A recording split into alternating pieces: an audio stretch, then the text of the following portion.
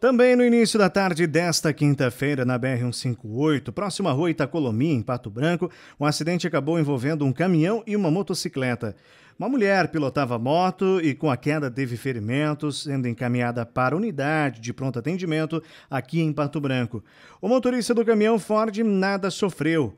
A Polícia Rodoviária Federal atendeu a ocorrência.